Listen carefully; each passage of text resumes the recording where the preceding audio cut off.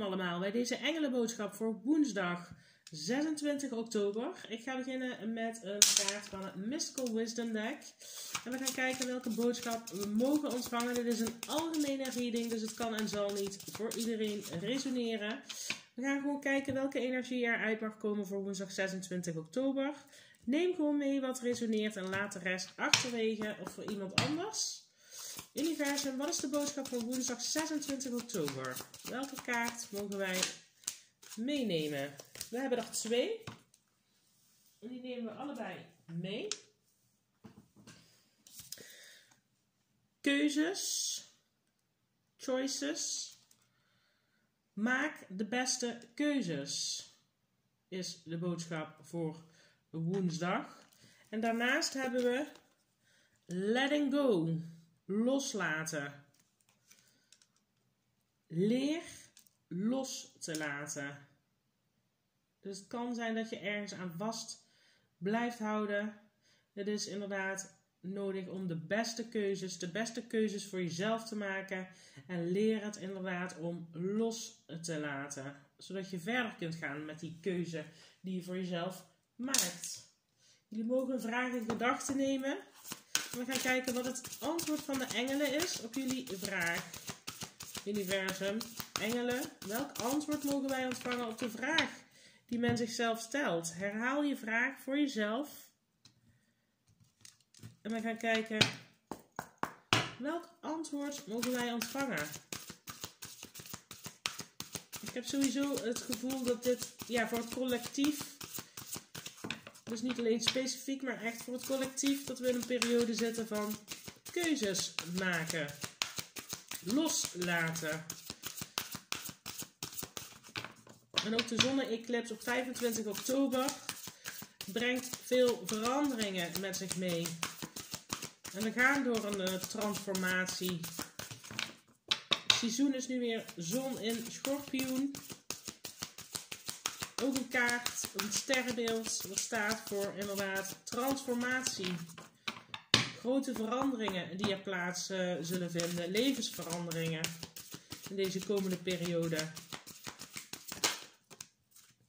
Als antwoord op de vraag hebben we binnen een paar maanden. Ik zet hem hier neer. Kijk hoe het resoneert. Onder op het dek, je bent er klaar voor. Je bent wellicht klaar voor dit nieuwe begin, die keuze die je voor jezelf gemaakt hebt. Ik ga een ander dek gebruiken voor de boodschap.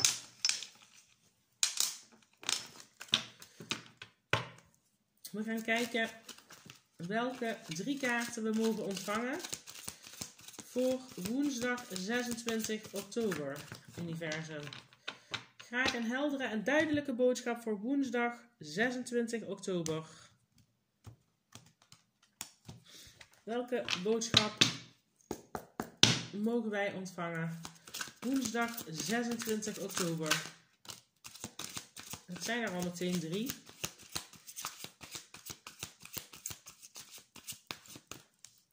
Ja.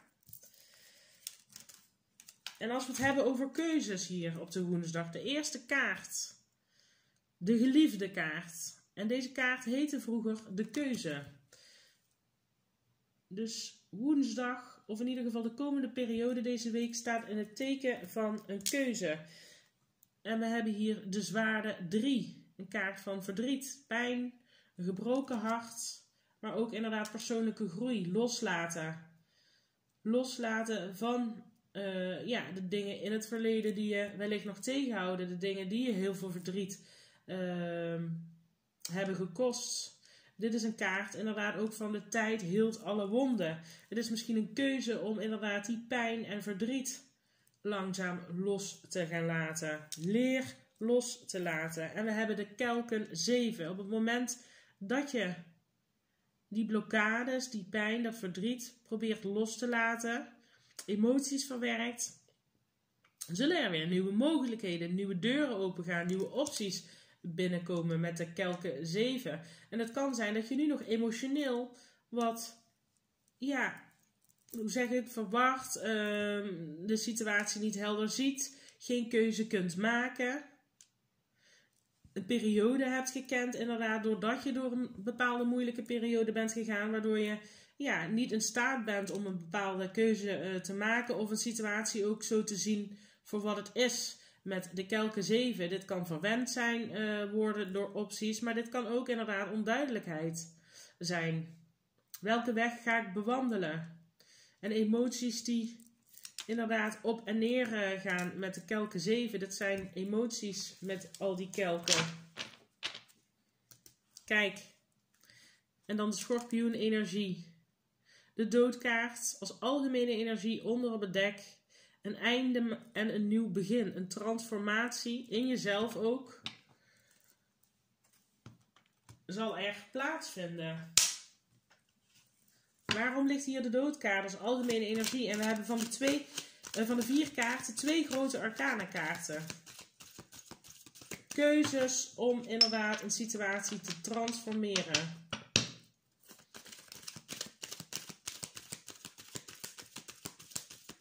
En het kan heel pijnlijk zijn om een bepaalde keuze te maken, om verder te gaan, om iets los te moeten laten.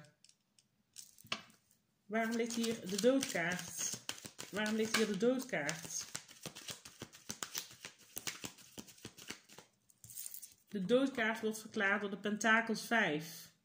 Je hebt je alleen gevoeld in een bepaalde situatie. Je voelt je eenzaam. Je voelt je wellicht buitengesloten in een bepaalde situatie. Je bent wellicht blijven hangen in uh, ja, alles wat fout is gegaan in het verleden. En dit kan ook uh, een gebrek zijn aan ja, een stabiele financiële situatie. Maar de boodschap van de Pentakels 5 is ook focus je op datgene wat wel nog voor je ligt. En dat heb je hier met die kelken 7. Ik heb het gevoel dat er een transformatie in je eigen manier van denken plaats gaat vinden. Je gaat uit die Pentakels 5 energie. Dus blijven vasthouden aan wat er fout is gegaan, wat er mist. Maar je gaat je nu focussen op wat er nog kan komen. En je gaat een keuze, ja, echt een, een, een, een keuze maken hiervoor. Wat is die geliefde kaart? En voor sommigen van jullie kan het een keuze zijn in de liefde. Een situatie, een relatie is wellicht niet langer vervullend. Iemand geeft jou het gevoel dat je in de kou staat. En het kan zijn uh, dat iemand je letterlijk inderdaad uh, in de kou heeft laten staan. Je achter heeft gelaten met een hele hoop verantwoordelijkheden die je alleen moest dragen. Maar het kan ook zijn dat je binnen een connectie, binnen een relatie je alleen voelt. En het is niet meer langer vervullend.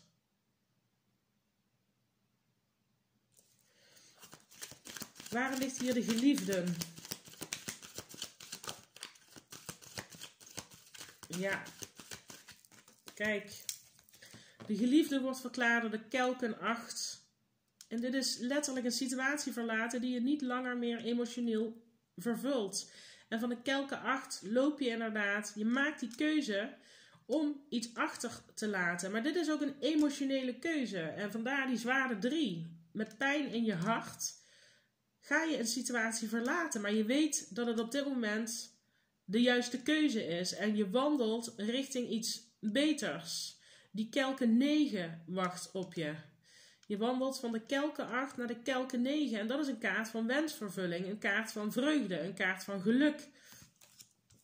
Dus je maakt heel bewust een bepaalde keuze, ook om je emotioneel terug te trekken, maar ik heb ook het gevoel dat jullie fysiek van een bepaalde uh, situatie ja, afstand gaan nemen.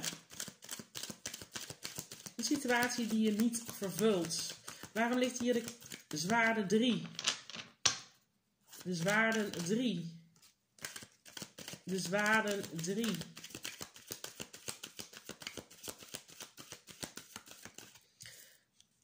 Wauw. De zwaarde 3 wordt verklaard door de dwaas. Een risico nemen, in het diepe springen, een frisse nieuwe start willen maken, weer optimistisch zijn en inderdaad beginnen vanaf nul. Kijk, dit is de nulkaart. Hiermee begint de reis van de grote arcana kaarten. Je begint weer helemaal opnieuw.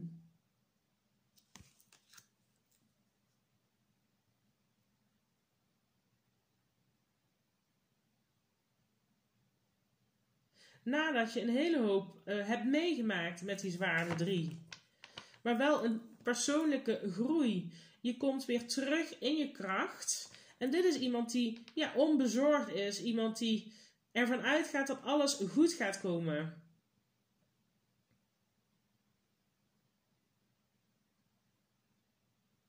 Dit is een kaart van inderdaad actie ondernemen. En er wordt je een gouden kans geboden. Met de aas van, sta een aas van pentakels.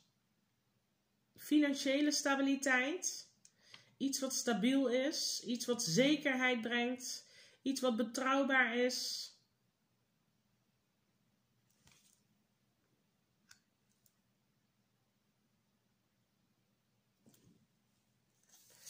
En onder op het dek hebben we de zwaarde 4 en de zwaarde 5.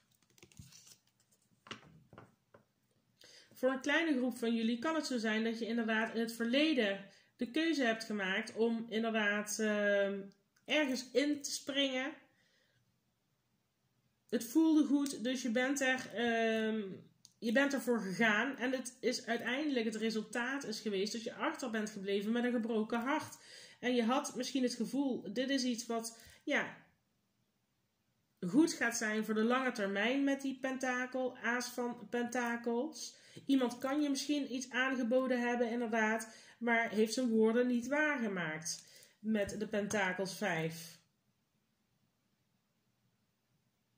En je bent er als het ware eigenlijk met die dwaaskaart, ja, met beide benen in getrapt als het ware.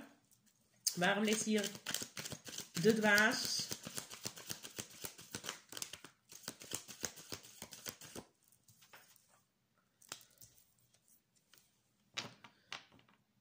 Kelke 4.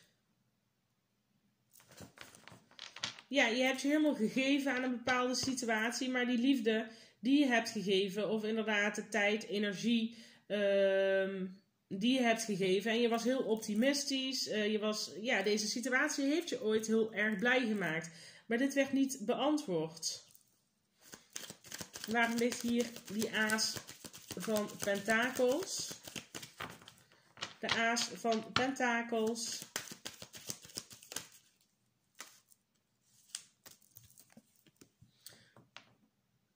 Van pentakels. Stier maakt steenbok. En met de dwaas hebben we hier heel sterk ram-energie liggen.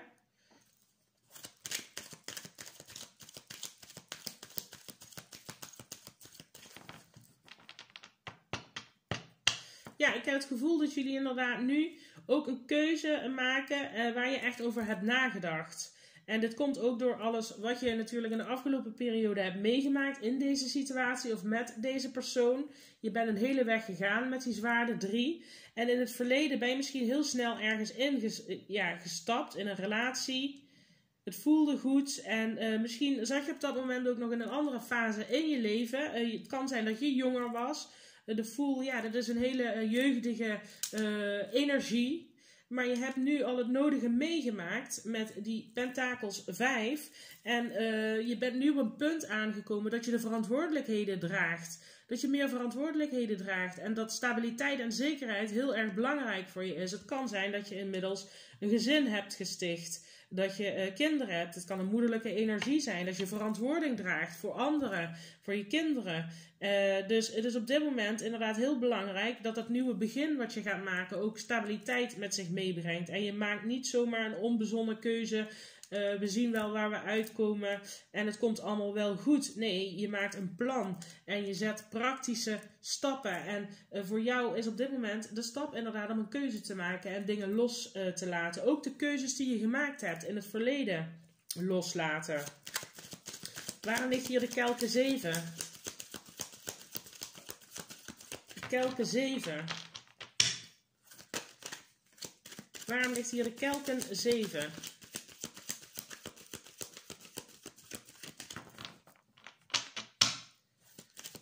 kelken 7.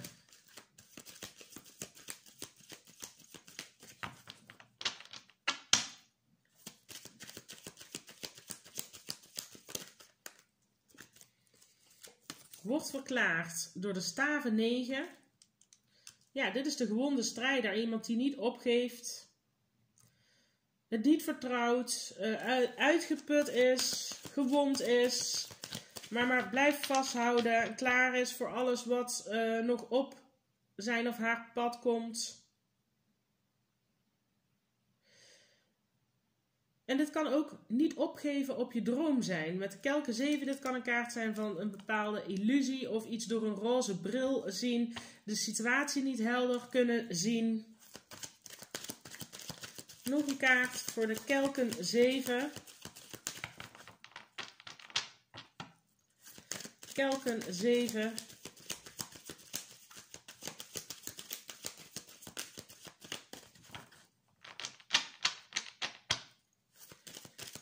Waarom ligt hier de kelken 7?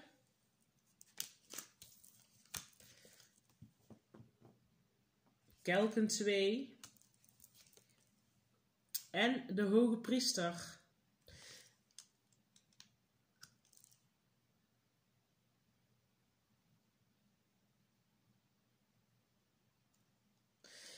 Gevoel dat jullie ook ergens aan blijven hangen. En dit kan een relatie zijn, heel sterk, eh, met de, de kelken 2 met de hoge priester. Dat kan een hele lange relatie zijn, een soort van contract wat je eigenlijk hebt met iemand. Dat kan een huwelijk zijn. Ehm, en ik heb het gevoel dat je vanuit een uh, loyaliteit, maar ook een gevoel van ehm, het goede willen doen. Want de, ja, de hoge priester is iemand inderdaad die uh, heel spiritueel kan zijn of religieus, uh, heel traditioneel. Dat je uit een ja, een bepaalde mentaliteit van tradities um, bent blijven vasthouden. Je hebt echt alles gedaan om de situatie te verbeteren. En je hebt je echt toegewijd aan uh, deze connectie. Je bent blijven volhouden. En je zag de situatie misschien inderdaad ook niet voor wat het was. Waarom ligt hier uh, die staven 9?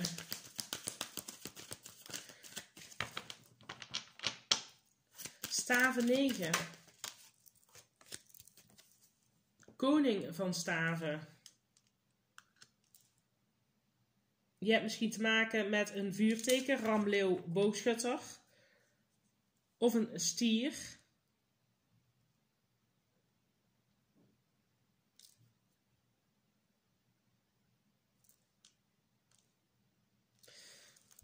En er is sprake van spijt. En inderdaad nog steeds je down voelen inderdaad over dingen die er gebeurd zijn met de kelke 5.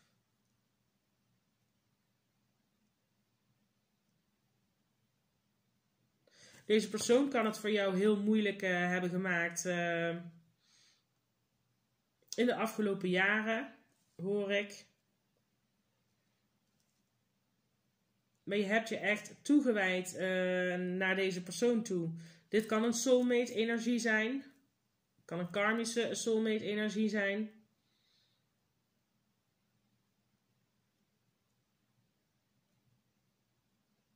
Je bent nu je opties aan het bekijken. Waar ga ik inderdaad mijn uh, toewijding aan geven ook? Wat is de zingeving van het leven? Welke richting wil ik uit? Emoties een plek geven.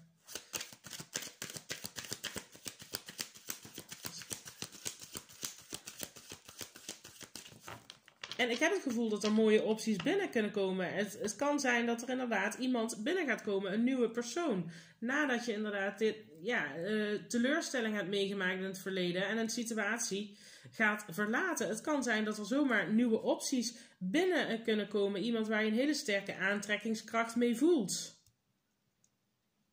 En iemand die zich wil toewijden aan een connectie met de hoge priester die we hier hebben liggen. Waarom ligt die hoge priester hier?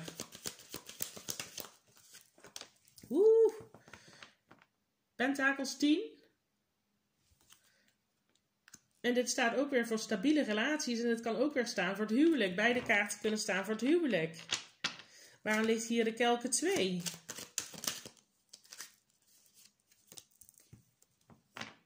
En dan hebben we de staven 5. innerlijk conflict. Kelke 2.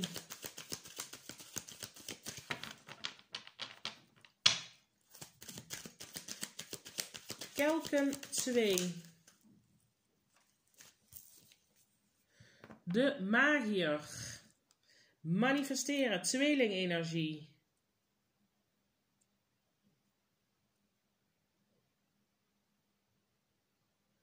Ja, ik heb het gevoel echt, de magier stelt alles in het werk om datgene te bereiken wat hij of zij wil, inderdaad. Uh, gebruikt al zijn middelen heel wijs, is uh, heel strategisch. En met staven 5 een uh, gevoel van een, een conflict situatie, maar inderdaad je staan voor waar je in gelooft en niet opgeven. De competitie aangaan. En dit spreekt ook van intelligentie.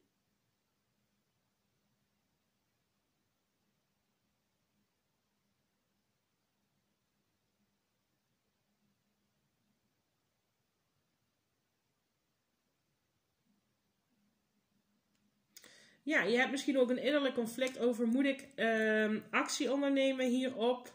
Uh, op welke optie ga ik actie ondernemen? Maar er komt balans in die situatie doordat je een keuze gaat maken. Kun je inderdaad je emoties een plek geven en krijg je meer helderheid en duidelijkheid in de situatie. En de keuze, de geliefde kaart, de eerste kaart. Dus daar gaat een keuze gemaakt worden en je gaat praktische keuzes maken. Uh, een keuze die jou stabiliteit brengt. Want dat is je voorwaarde inderdaad. Gerechtigheid. Karma komt er in een situatie. Een transformatie. Uh, dus we hebben heel sterk uh, schorpioen. Tweelingenergie. Ram-energie. Nog een keer tweeling. Maagd. Stier. En weegschaal-energie op de tafel liggen. En ik heb het gevoel dat het ja, voor een uh, kleine groep, voor jullie, de komende periode inderdaad, er kunnen opties binnenkomen in liefde. Dus, en je gaat het uh, deze keer, je keuze baseren inderdaad op praktisch nadenken inderdaad. Wat werkt voor mij? En je gaat niet zomaar onbezonnen inderdaad als die dwaasenergie hier in het diepe springen. Maar je, wil, je bent wel klaar voor een frisse nieuwe start. En je gaat dingen loslaten. Dus ja, als antwoord op de vraag, binnen een paar maanden hebben we hier liggen. Dus kijk hoe het resoneert. Er komt in ieder geval balans in je situatie. Ook in die emoties die wellicht nog alle kanten opgaan. Dus dat is wat ik voor jullie heb. Resoneer het, geef me een like, abonneer je op mijn kanaal. Uh, mocht je dat nog niet gedaan hebben. En uh, ik hoop jullie uh, snel weer te zien. Dag!